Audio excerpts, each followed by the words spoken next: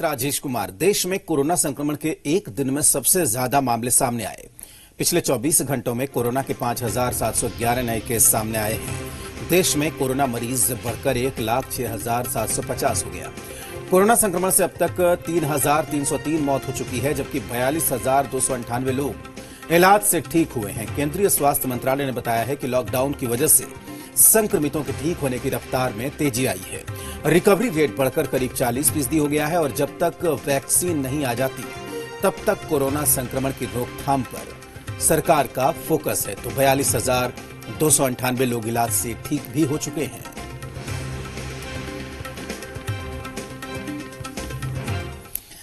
बिहार में कोरोना के आंकड़े तेज़ी से बढ़ते जा रहे हैं। अब तक 1607 लोग कोरोना संक्रमित मिले हैं। पिछले 24 घंटे में 112 नए मामले सामने आए। बिहार में अब तक पाँच मरीज़ कोरोना को मात देकर ठीक हो चुके हैं, जबकि पिछले 24 घंटे में सैंतीस मरीजों को अस्पताल से छुट्टी मिली है। तो इधर बिहार में इस महामारी की चपेट में आकर मरने वालों का आंकड़ा नौ पहुँच गया है और बिहार में अब तक तिरपन सैंपल्स की जाँच की गई है। दरअसल प्रवासियों की बिहार वापसी के बाद कोरोना संक्रमण के आंकड़ों में तेज़ी आई है। तीन मई के बाद बाहर से बिहार आए सात सौ अट्ठासी प्रवासी कोरोना संक्रमित पाए गए हैं। अब तक दिल्ली से आए 240 प्रवासी कोरोना पॉजिटिव पाए गए। पश्चिम बंगाल से अड़तीस, महाराष्ट्र से एक सौ सत्तासी हरियाणा से 43, चंडीगढ़ से चार गुजरात से एक सौ अट्ठावन कर्नाटक से 14, तमिलनाडु से सात मध्य प्रदेश से पाँच झारखंड से पाँच राजस्थान से 25, छत्तीसगढ़ से दो उत्तर प्रदेश से 28, पंजाब से पाँच तेलंगाना से तेरह आंध्र प्रदेश से दो केरल से आए तीन प्रवासी कोरोना पॉजिटिव पाए गए।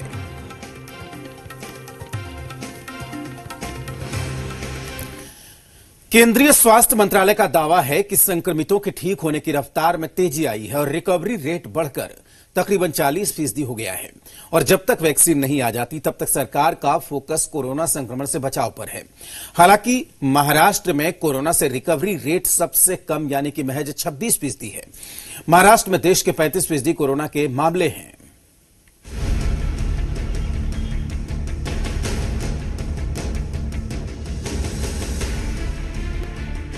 भारत में कोरोना से संक्रमितों का आंकड़ा एक लाख के पार पहुँच चुका है। मौत का आंकड़ा भी तीन हज़ार के ऊपर है। रोज़ाना संक्रमित होने वालों की संख्या भी तेज़ी से बढ़ रही है। बुधवार सुबह स्वास्थ्य मंत्रालय ने कोरोना को लेकर जो आंकड़ा जारी किया, उसके मुताबिक देश में कोरोना संक्रमितों की कुल संख्या एक लाख छह हज़ार सात सौ पचास है। अभी देश में कोरोना के एक्टिव केस इकसठ हज़ार एक सौ उनचास है, जबकि कोरोना को मात देकर बयालीस हज़ार दो सौ अट्ठानवे लोग ठीक हो चुके हैं। वहीं कोरोना से अब तक 3,303 लोगों की मौत हो चुकी है। भारत में पिछले कुछ दिनों से जिस तरह कोरोना के नए मामले आ रहे हैं वो चिंता में डालने वाले हैं। कोरोना संक्रमितों के मामले में भारत ग्यारहवें स्थान पर है। पिछले एक दिन में कोरोना से संक्रमित होने वाले आंकड़ों पर गौर करें तो भारत में स्पेन इटली और ब्रिटेन से भी ज़्यादा नए मामले आए हैं। पिछले एक दिन में भारत से ज़्यादा कोरोना के केस केवल अमेरिका रूस और ब्राज़ील से आए हैं। कोरोना से एक दिन में मौत का आंकड़ा देखें तो भारत से ज़्यादा मौतें केवल अमेरिका, ब्राज़ील, ब्रिटेन, इटली और मैक्सिको में हुए हैं। बावजूद इसके एक आंकड़ा है जो राहत दे रहा है, और वो है भारत का रिकवरी रेट। यानी कुल संक्रमित मामलों के मुकाबले ठीक होने वालों की संख्या। भारत में कोरोना से रिकवरी रेट लगातार बढ़ रही है। इसका मतलब है कि कोरोना को मात देने वालों की संख्या रोज बढ़ रही है। एक मई को भारत में कोरोना से रिकवरी रेट पच्चीस दशमलव छह तीन फ़ीसदी थी। पाँच मई को रिकवरी रेट बढ़कर अट्ठाईस दशमलव एक सात फ़ीसदी हो गई। दस मई को भारत में रिकवरी रेट तीस दशमलव सात पाँच फ़ीसदी थी। पंद्रह मई को भारत में रिकवरी रेट बढ़कर चौतीस दशमलव शून्य छह फ़ीसदी हो गई और अब 20 मई को भारत में कोरोना से रिकवरी रेट बढ़कर उनतालीस दशमलव छह दो फ़ीसदी हो गई है। उत्तर प्रदेश आंध्र प्रदेश राजस्थान और तेलंगाना में कोरोना से रिकवरी रेट सत्तावन फ़ीसदी से चौसठ फ़ीसदी के बीच है जबकि पंजाब और हरियाणा में रिकवरी रेट पैंसठ फ़ीसदी से ज़्यादा है। दिल्ली गुजरात और मध्य प्रदेश जहाँ कोरोना के काफ़ी केस हैं, वहाँ भी रिकवरी रेट 40 फ़ीसदी से ज़्यादा है। यानी हर 10 में से चार कोरोना मरीज़ रिकवर हो रहा है। उत्तर प्रदेश में रिकवरी रेट उनसठ दशमलव दो चार फ़ीसदी है। आंध्र प्रदेश की रिकवरी रेट चौसठ दशमलव शून्य दो फ़ीसदी है। राजस्थान में रिकवरी रेट सत्तावन दशमलव शून्य नौ फ़ीसदी है। तेलंगाना में ये रेट इकसठ दशमलव आठ एक फ़ीसदी है, जबकि पंजाब में रिकवरी रेट बयासी दशमलव शून्य एक फ़ीसदी है और हरियाणा में रिकवरी रेट पैंसठ दशमलव शून्य चार फ़ीसदी है। दिल्ली में रिकवरी रेट 45 फ़ीसदी है तो वहीं गुजरात में इकतालीस दशमलव पाँच चार फ़ीसदी और मध्य प्रदेश में रिकवरी रेट अड़तालीस दशमलव एक दो फ़ीसदी है। पूरे भारत की तस्वीर देखने पर पता चलता है कि 23 राज्यों और केंद्र शासित प्रदेशों में रिकवरी रेट 40 फ़ीसदी से ज़्यादा है। 17 राज्यों और केंद्र शासित प्रदेशों में ये आंकड़ा 50 फ़ीसदी से ज़्यादा है। 50 फ़ीसदी से ज़्यादा रिकवरी रेट का सीधा मतलब है कि वहाँ कोरोना से संक्रमित केस कम सामने आ रहे हैं और लोग ज़्यादा ठीक हो रहे हैं। देश में रिकवरी रेट को सबसे तगड़ी चोट महाराष्ट्र ने दी है। वहाँ सैतीस हज़ार ऐसी ज़्यादा कोरोना संक्रमित के केस हैं और रिकवरी रेट है करीब 26 फ़ीसदी। कोरोना के सबसे ज़्यादा करीब 35 फ़ीसदी केस महाराष्ट्र में ही हैं। देश में मौत का 40 फ़ीसदी आंकड़ा भी महाराष्ट्र में ही है। भारत में प्रति लाख आबादी पर कोरोना के मामलों की संख्या सात दशमलव सात है। ग्लोबल लेवल पर यह आंकड़ा साठ का है। स्वास्थ्य मंत्रालय के मुताबिक भारत में अब तक प्रति एक लाख आबादी पर कोरोना से मौत का आंकड़ा शून्य दशमलव दो है, जबकि दुनिया का आंकड़ा चार दशमलव एक है। Bureau report, Zee Media. उधर कोरोना से उपजे हालात की मुख्यमंत्री नीतीश कुमार लगातार समीक्षा कर रहे हैं। मुख्यमंत्री ने सभी कक्षाओं के लिए ई कंटेंट डेवलप करने का निर्देश दिया ताकि ऑनलाइन शिक्षा देने में सहूलियत हो। जितने भी पाठ्यक्रम के टेक्स्ट बुक हैं, उन्हें भी डिजिटलाइज किया जा रहा है ताकि वो सभी विद्यार्थी को आसानी से उपलब्ध हो सके। इसके साथ ही सभी प्रखंडों में जो आधार सेंटर्स हैं, उन्हें स्थायी रूप से फंक्शनल करने का निर्देश दिया गया है ताकि किसी को आधार कार्ड बनवाने में कोई दिक्कत न हो। लोगों की सुविधा के लिए जिलों से जो टीआरसीसी बना हुआ है, वहाँ ऑनलाइन आधार कार्ड हेतु पूरी व्यवस्था करने, श्रम क्षेत्र में वेजेज को लेकर कुछ सुधार किए गए हैं। इसे लेकर श्रम संसाधन विभाग को कहा गया है कि एक्स्ट्रा टाइम में वेजेज को लेकर स्पष्टता नहीं थी। उसके संबंध में स्पष्ट क्लियरिफिकेशन निकालने, शहरी गरीबों के लिए जो अफोर्डेबल हाउसिंग है, उन्हें रियायती दरों पर मुहैया कराने और बिहार में स्ट्रीट वेंडर्स की संख्या काफ़ी है, उनके लिए भी पैकेज में डिक्लेरेशन है। स्ट्रीट वेंडर्स का सर्वे ठीक ढंग से कराएँ ताकि कोई भी स्ट्रीट वेंडर्स छूटे नहीं और जो भी उनके लिए योजना बने, उसका वो पूरा लाभ ले सके। क्योंकि अभी लॉकडाउन पीरियड है स्कूल्स कॉलेजेस वगैरह बंद हैं तो ये निर्देश दिया गया था माननीय मुख्यमंत्री द्वारा कि अब सब कक्षाओं के लिए जो ई कंटेंट है, उसको डेवलप करने का काम किया जाए। तो इस पर शिक्षा विभाग जो है वो छः से लेकर बारह तक के क्लास के लिए ई कंटेंट काफ़ी हद तक डेवलप कर चुका है। और आप जानते हैं कि उन्नयन बिहार के अंतर्गत नौ दस के लिए तो ये चल ही रहा है। पर बाकी क्लासेस के लिए भी ये निर्देश दिया गया है कि ई कंटेंट जो भी है वो डेवलप करा लिया जाए। एक राशन कार्ड धारियों को हम लोग एक हज़ार रुपये दे रहे थे। अभी तक एक करोड़ इकतीस लाख परिवारों को ये राशि दे दी गई। इसके अलावा जीविका और एन से जो चिन्हित थे, उनमें से भी अभी तक तेरह लाख परिवारों को ये राशि दे दी गई है। उनके पास राशन कार्ड नहीं था। ये प्रोसेस चल रही है। पर एक जो मुख्य समस्या सामने आ रही थी कि बहुत सारे लोगों का आधार लिंक नहीं था राशन कार्ड से। तो इसके लिए माननीय मुख्यमंत्री जी ने यह भी निर्देश दिया है कि जो आधार सेंटर हैं प्रखंडों में उनको स्थायी रूप से फंक्शनल कर दिया जाए, ताकि किसी को आधार कार्ड बनवाने में दिक्कत नहीं हो। और पटना से खबर है कि कोरोना संक्रमण को लेकर मुख्यमंत्री नीतीश कुमार ने नियमित बैठक की है। मुख्यमंत्री बोले कि लंबे समय से लॉकडाउन चल रहा है, इसलिए समाज के अंतिम पंक्ति के व्यक्ति का विशेष ध्यान रखें। अधिकारी तय करें, जरूरतमंदों तक सरकारी सुविधा का लाभ मिले। अधिकारी जन प्रतिनिधियों के सहयोग से समन्वय स्थापित करें और प्रवासी मजदूरों के लिए रोज़गार का विशेष ध्यान दें। राशन, सामाजिक सुरक्षा, पेंशन और अन्य कल्याणकारी योजनाओं का जरूरतमंदों को लाभ मिले। सभी प्रखंडों में आधार कार्ड बनाने की स्थायी व्यवस्था हो। बड़ी तादाद में आ रहे प्रवासी श्रमिकों को अच्छी तरीके से क्वारंटीन सेंटर पहुँचाया जाए। क्वारंटीन सेंटर्स पर प्रवासियों की संख्या बढ़ रही है, इसलिए सबको ट्रेनिंग दिया जाए। कोई स्वार्थ के लिए क्वारंटीन सेंटर की अफवाह न फैलाए। इसका ध्यान रखें। डीएम और एसपी क्वारंटीन सेंटर्स की नियमित मॉनिटरिंग करें। कोरोना की जाँच में तेज़ी लाएँ। राशन कार्ड बनाने की प्रक्रिया को तेज करें। बाहर से जो भी लोग बिहार आना चाहते हैं, सबको लाया जाए। बाहर से आने में कोई भी जल्दबाजी न करें। धैर्य रखें।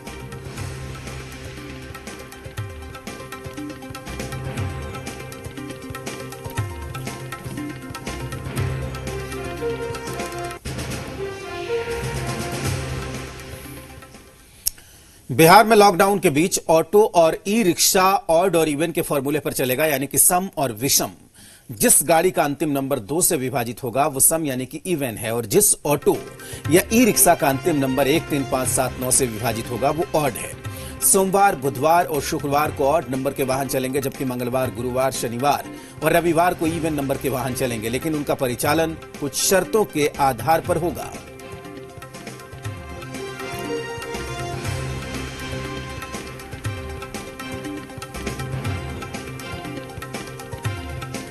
जो बसें हैं वो बसें उनके प्रखंड मुख्यालय तक ले जाने का रात दिन काम कर रही है। अभी लगभग मुझे लगता है कि 10 से 15 दिन तक ये काम लगातार चलता रहेगा और हमारे विभाग के सभी अधिकारी रात दिन मेहनत कर रहे हैं। तो इस प्रकार से जब संख्या कम हो जाएगी आने वालों का तो निश्चित तौर पर जब स्थिर का माहौल होगा तो हम लोग संक्रमण जो है कम होंगे तो उसका ख्याल करते हुए हम लोग बड़ी बसों का भी परिचालन शुरू कर लॉकडाउन 4.0 में बिहार सरकार भी काफ़ी कुछ राहत दे रही है। इसी के तहत अब सप्ताह में तीन दिन कई तरह की दुकानों को खोलने की इजाज़त दी गई है। बिहार सरकार ने फैसला किया है कि लॉकडाउन के चौथे फ़ेज़ में सोमवार, बुधवार और शुक्रवार को दुकानें कई तरह की खुलेंगी। दुकानों को शाम छह बजे तक खोलने की अनुमति मिली है, जिन दुकानों को खोलने का आदेश दिया गया है। उनमें ड्राई क्लीनिंग, फर्नीचर, बर्तन और साइकिल की दुकानें हैं। इसके साथ ही पहले से आदेशित दुकानों को भी खोलने का निर्णय लिया गया है।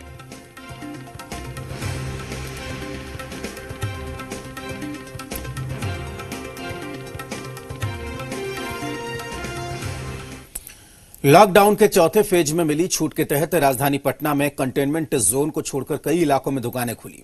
बाज़ार में दुकानों के खुलने के बाद पटना जिलाधिकारी कुमार रवि ने शहर के अलग अलग इलाकों के दुकानों का निरीक्षण किया। डीएम के साथ अनुमंडल पदाधिकारी भी मौजूद रहे। डीएम ने दुकान और कई रेस्टोरेंट का जायजा लिया और सभी को सोशल डिस्टेंसिंग का ख्याल रखने, सैनिटाइजर या फिर साबुन का इस्तेमाल करने का निर्देश दिया। डीएम ने निर्देशों का उल्लंघन करने वालों के खिलाफ सख्त कार्रवाई करने की चेतावनी दी।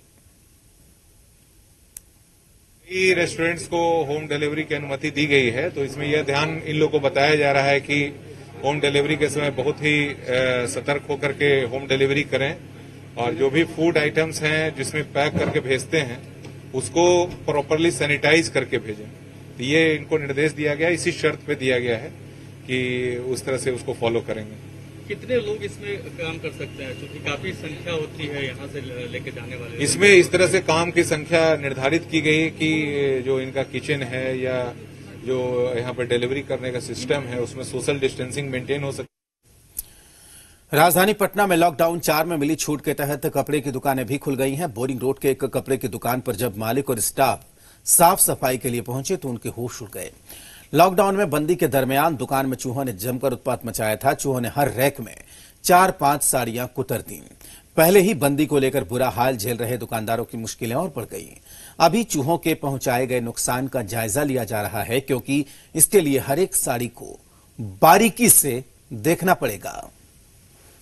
लॉकडाउन फोर में कुछ रियायत मिली है और विशेष शर्त और एहतियात के तहत दुकान जो है वो खुले हैं। कपड़े के दुकान भी उसमें शामिल है। देखिए किस तरीके से यहाँ पे धूल मिट्टी पड़े थे, उसको साफ़ सफ़ाई करने की कोशिश जो है वो चल रही है। और साथ ही साथ अब चूँकि लगन जो है वो भी काफ़ी निकल गया, नुकसान हुआ है व्यवसाय के तौर पर अगर देखे तो। और इसके अलावा ईद जो है, उसकी भी खरीदारी जो है इस साल मार खा गई।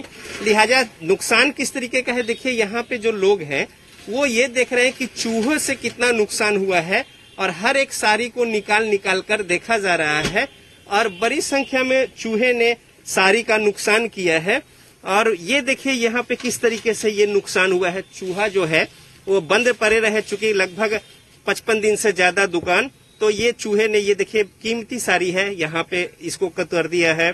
चूहे ने अपने कारामात यहाँ भी दिखाए हैं। ये साड़ी भी जो है वो पूरे तरीके से काट दिए हैं। ये पीली साड़ी, कीमती साड़ी है दुकानदार के अनुसार। देखिए, पूरे साड़ी को कई तह तक जो है चूहे ने अपने दांतों से इसको कुतर डाला है। इसके अलावा ये साड़ी जो है, इसमें भी देखिए, अब ये बिकने लायक नहीं है, चूँकि किस तरीके से चूहे ने नुकसान पहुँचाया है, कई जगहों पे इस तरीके से। और ऐसे ही तमाम जो दूसरे जगह, देखिए, पूरे चूहे ने इसको नीचे से कुतर डाला है। तो अब ये दुकान में जो है कोशिश है, देखिए, यहाँ पे एक एक साड़ी को देखा जा रहा है कि चूहे ने किस तरीके से नुकसान किया है और इसकी खोजबीन जो है वो चल रही है। छोटी सी हम जानकारी लेते हैं किस तरीके का नुकसान हुआ है। देखिए नुकसान तो जो है इतने दिन बंद रहने से वो भी नुकसान हुआ है काफ़ी नुकसान है। कम से कम दो महीना लगभग बंद रही दुकान। और उसके बाद खोलने के बाद लगभग टू मंथ के बाद दुकान खुली तो आज सुबह से देखा जा रहा है कि झाड़ा फूका यहाँ से जा रहा है पूरा। टोटल उसके बाद आपने देखे इतना चूहा वगैरह नुकसान किया। चूहा ने नुकसान किया। तो कुल मिलाकर देखें तो व्यवसाय का नुकसान अलग है और बंद रहा दुकान काफ़ी दिनों तक। चूहे से भी काफ़ी नुकसान हुआ है, खासतौर पे कपड़े के दुकान में। और कई सारे कीमती साड़ी और जो सूट के कपड़े हैं, उसको चूहे ने कुतर डाले हैं। कैमरामैन विजय के साथ रजनीश, जी मीडिया, पटना। और खबर पटना से है, बिहार में फंसे केरल के लोगों को कांग्रेस की ओर से वापस भेजा गया। सदाकत आश्रम से करीब 90 लोगों को रवाना किया गया। बिहार के विभिन्न जिलों में केरल के लोग थे। कांग्रेस के प्रदेश अध्यक्ष मदन मोहन झा ने उन्हें विदा किया। अंग वस्त्र देकर उन्हें विदा किया गया। रास्ते के खाने की व्यवस्था की गई। और कांग्रेस की ओर से कई अन्य शहरों में लोगों को भेजने की तैयारी बसों के ज़रिए हो रही है और लोगों को वापस भेजा जा रहा है। बिहार कांग्रेस की ओर से जो केरल के लोग हैं या कहें बिहार में जो केरल के लोग फंसे हुए तो उनको वापस भेजा जा रहा है, उनके लिए बाकायदे बस लाई गई है, जो कांग्रेस के प्रदेश अध्यक्ष हैं, वो यहाँ पर आए हैं और इस बस में जो लोग सवार होने जा रहे हैं, उनको एक तरह से स्वागत किया जा रहा है, उनको जो अंग वस्त्र है, गमछा है, वो दिया जा रहा है। और किस तरह से यहाँ पे पूरी व्यवस्थाएँ हम ये लोग जान लेते हैं। सर, आप लोग इन लोगों को बस को रवाना कर रहे हैं। किस तरह से इन लोगों से संपर्क करके और कैसे इनको भेज रहे हैं? नहीं, जो लोग हैं, हमारे करीब नब्बे साथी हैं केरला के। ये लोग दो महीना से परेशान थे, उन लोगों ने संपर्क स्थापित किया। फिर बिहार प्रदेश कांग्रेस कमेटी ने इन लोग को जाने का व्यवस्था किया? है अच्छा बिहार प्रदेश कांग्रेस कमेटी आप सब लोग सुबह से यहाँ पे हैं। किस तरह से लोगों को जो तरह से क्या राहत किस तरह से कर रहे हैं? देखिए मुख्य रूप से जब हम लोगों को जानकारी मिली कि लोग अलग अलग जगह फंसे हुए हैं तो उसमें अलग अलग लोगों को हम लोग व्यवस्था करके भेज। जैसे ये केरला से लोग हैं फंसे हुए। और केरला के लोग जो आए हैं ये तीन बसों में यहाँ से जा रहे हैं और एक गाड़ी है। ये लोग फंसे हुए हैं पश्चिमी चंपारण में ये लोग फंसे हुए थे बेतिया में ये लोग फंसे हुए थे आपके गया में। इन सब लोगों को इकट्ठा करके यहाँ से वैसे महिलाएँ भी हैं काफ़ी और पुरुष भी हैं जैसा कि आप देख रहे हैं। इन लोगों को खाना पीना दिया गया और रास्ते की भी खाने पीने की व्यवस्था हम लोगों ने कर दी। महिलाएँ भी हैं और जो बच्चे भी हैं तो आप आप लोग कहाँ से कहाँ से हुए थे? से कैमूर से। कैमूर से है। अच्छा कैमूर से। तो यहाँ पे क्या करते थे और घर जाने का क्या वजह है? हमारा गाड़ी से अपना गाड़ी से आए। उधर से। तो ये साफ़ तौर पे है राजेश जी है आप लोग अंग वस्त्र सबको दे रहे हैं।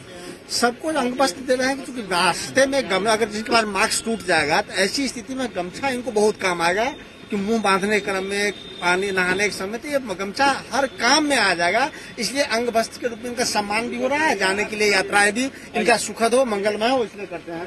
जी तो यात्रा सुखद और मंगलमय रहे। मैडम आप भी हैं जी। सियाफ करने आप भी आ गई हैं सब जी बिल्कुल हम लोग अध्यक्ष जी के नेतृत्व में हम लोग अपना छोटा सा योगदान जो भी कर सकते हैं प्रयास कर रहे हैं। कैमरामैन विजय के साथ शैलेंद्र जी मीडिया पटना।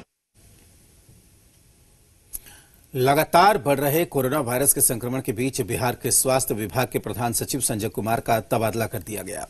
संजय कुमार को पर्यटन विभाग दिया गया है तो वहीं उनकी जगह पर उदय सिंह कुमावत को स्वास्थ्य विभाग के प्रधान सचिव की ज़िम्मेदारी दी गई है। तो स्वास्थ्य सचिव संजय कुमार को पर्यटन विभाग में भेज दिया गया है, जबकि स्वास्थ्य सचिव बना दिए गए हैं। उदय कुमार को उनकी ज़िम्मेदारी दी गई है। उदय सिंह कुमावत को स्वास्थ्य विभाग के प्रधान सचिव की ज़िम्मेदारी दी गई है। तो एक तरफ़ लगातार कोरोना के मामले बढ़ते जा रहे हैं और स्वास्थ्य के विभाग के प्रधान सचिव का यहाँ पर तबादला हो गया है।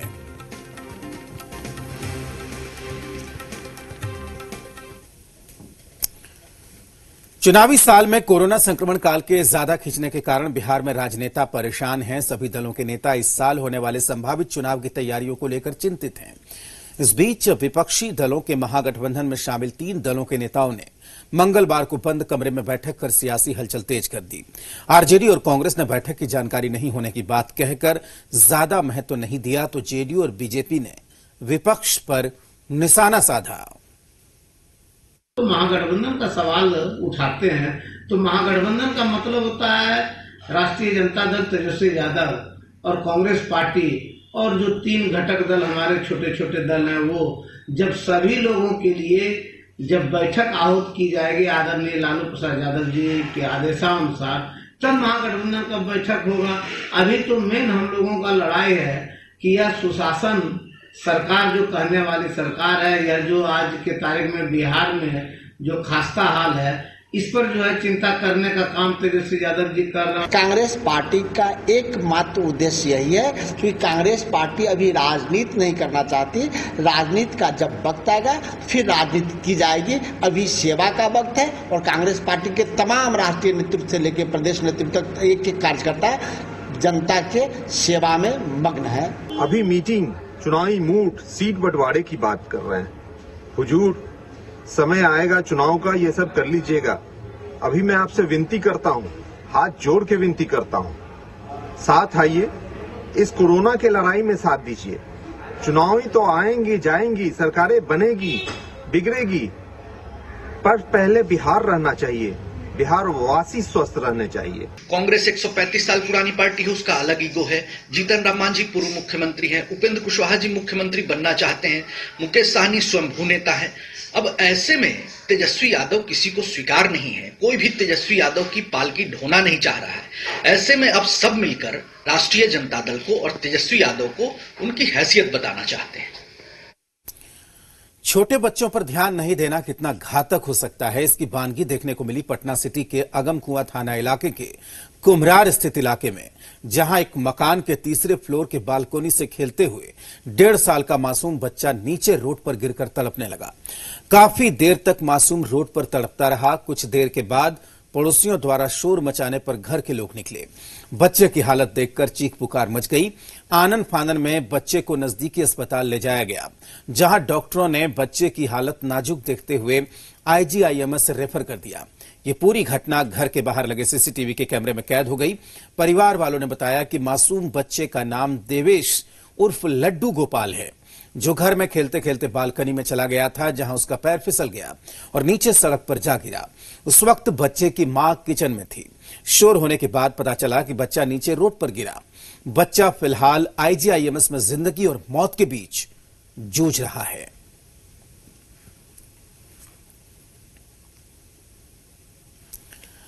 मधुबनी में पानी भरे गड्ढे में डूबने से चार किशोरियों की मौत हो गई। घटना बेनीपट्टी थाना इलाके के विशनपुर पंचायत के भंगी डी टोले की है। जेसीबी से खोदे गए एक गहरे गड्ढे में बारिश का पानी भरा हुआ था, जिसमें दो जुड़वा बहने समेत चार बालिकाओं की डूबने से मौत हो गई। काफ़ी प्रयास के बाद ग्रामीणों और गोताखोरों के सहयोग से शव को बाहर निकाला गया। इधर ग्रामीणों के द्वारा घटना की सूचना पुलिस को दी गई। सूचना मिलते ही पुलिस घटनास्थल पर पहुँची और शव को कब्जे में लेकर पोस्टमार्टम के लिए सदर हॉस्पिटल भेजा। ना कीजिए ज़्यादा फ़ोटो मोतिहारी में पंजाब नेशनल बैंक के मेहसी ब्रांच में हथियार बंद लुटेरों ने छह लाख अस्सी हज़ार रुपए लूटे। दो मोटरसाइकिल पर सवार होकर पाँच लुटेरे बैंक में पहुँचे, तीन बैंक के अंदर और दो बैंक के बाहर गेट पर खड़े हो गए। बैंक के अंदर प्रवेश कर लुटेरों ने हथियार के बल पर सभी स्टाफ को कब्जे में लिया। फिर कैश काउंटर पर रखे छह लाख अस्सी हज़ार रुपए लूट लिए। लुटेरे बैंक के अंदर से महज दो से तीन मिनट में ही पैसे लूटकर चल दिए।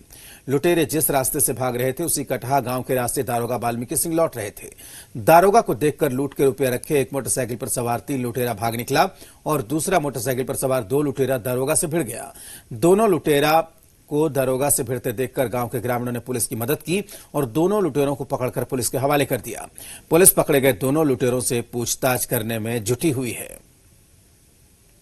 कैसे कैसे क्या हुआ? है पहले से तीन लोग थे अंदर। गेट के अंदर प्रवेश किए किया इसके बाद पिस्तौल निकाल। दिया पिस्तौल निकाल के बोला कि तुम लोग शांत रहो नहीं तो गोली मार उसके बाद वो गया मतलब केबिन के साइड में एक पिस्टल रहते हुए केबिन में गया उसमें से पैसा निकल पड़ा और चोला में नेहा जी का बैग था उसी बैग में रख के कितना पैसा ले गया पैसा तो ही मैंने छः अस्सी छः अस्सी छह लाख छः लाख अस्सी छह अस्सी लगभग कितने की संख्या में थे अपराधी जी अपराधी कितने की संख्या में थे तीन के इसी के साथ इस बुलेटिन में फ़िलहाल इतना ही। आप देखते रहिए जी बिहार झारखंड।